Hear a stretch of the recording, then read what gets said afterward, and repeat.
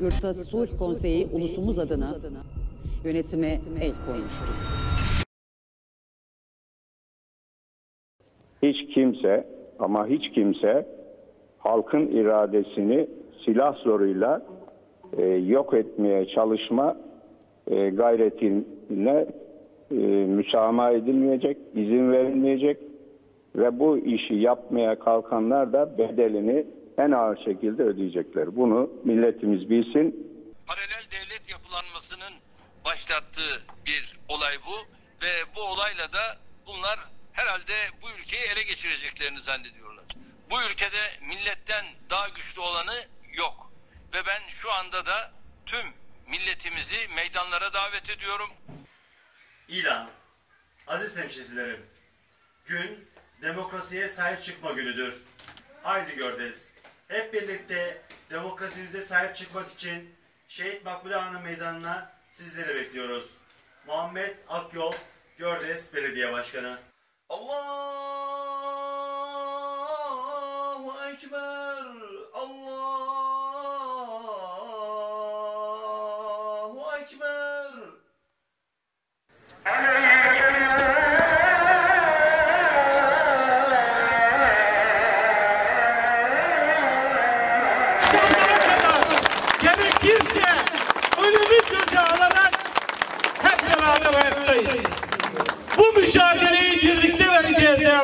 Değerli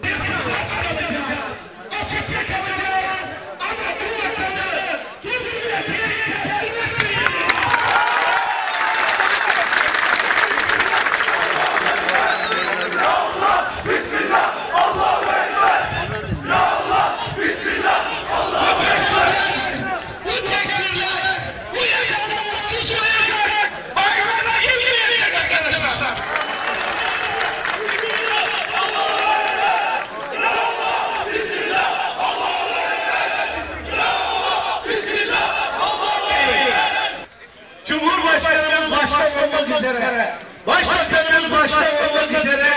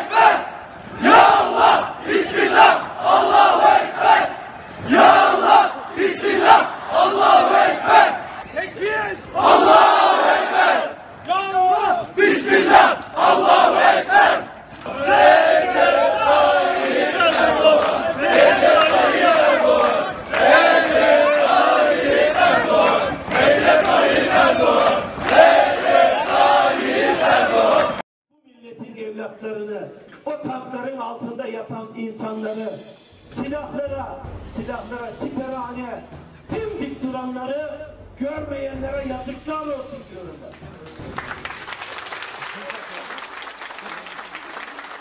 Bugün milletin yanında olmayanlar, yarın milletin huzuruna ne yüzle çıkacaklar acaba? Bu paralel çetelere, bu teröristlere, bu taşeronlara, bu zalimlere, bu katillere, bu ülkeyi asla teslim etmeyeceğiz. Bu ülkenin de, bu devletin de öz sahibi bizleriz. Bu millet. Hepiniz sağ olun, var olun. Bu hainlere de en ağır cezanın verileceğinden hiç kimsenin şüphe olmamasını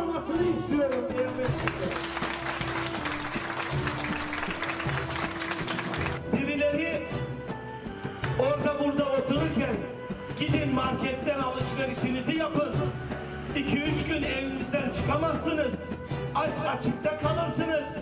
Yarın bu meydanlarda kimseyi göremezsiniz diyenler artık bu sokaklarda ne yüzle geziyor onu da merak ediyorum. Bizim tarafımız belli. Allah'a çok şükür. Biz inandığımız yolda, inandığımız davanın peşinde ölümüne kadar buradayız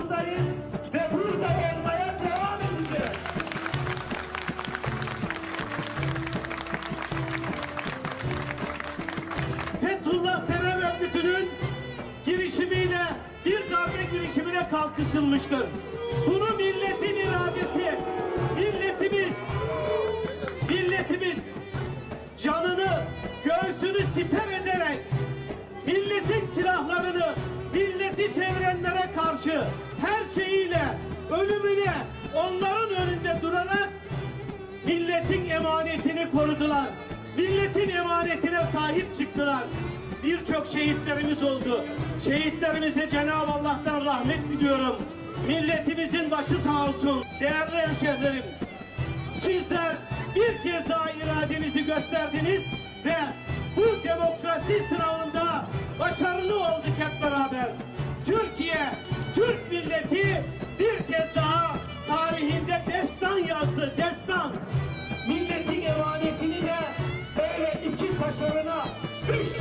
çapulcuya silahtan korkarak teslim edeceğinizi kimse zannetmesin. Bize bu yetkiyi verdi, millet alacaktır.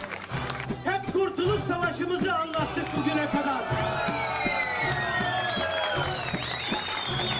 Bugüne kadar hep Kurtuluş Savaşımızı anlattık. Adnan Menderes'i astılar dedik. Özal'ı öldürdüler dedik. Başkomutanımız, Cumhurbaşkanımız Recep Tayyip Erdoğan'ı ne dedik? Yedirmeyeceğiz dedik. Bugün dik durma günüdür dedik. Bugün birlik ve beraberlik günüdür dedik. Bugün kaynaşma ve dayanışma günüdür dedik. Allah'a çok şükür bu meydan doldu. Sağcısıyla, solcusuyla, ülkücüsüyle hepsi burada. Kamu kurum ve kuruluşlarımızla, sivil toplum kuruluşlarımızla demokrasi mücadelemize hep beraber 24 saat devam ettik ve devam edeceğiz inşallah.